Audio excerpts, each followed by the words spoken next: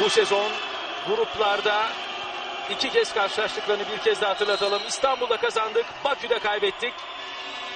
Bakalım bu kez neler olacak? Fabiano görüntüye geliyor. Brezilyalı oyuncusu Fenerbahçe Üniversitesi'nin yine o da başarılı bir sezon geçiriyor. Bu arada bir sayı daha alıyoruz. 4-1 yaptık durumu. Maça iyi başladık.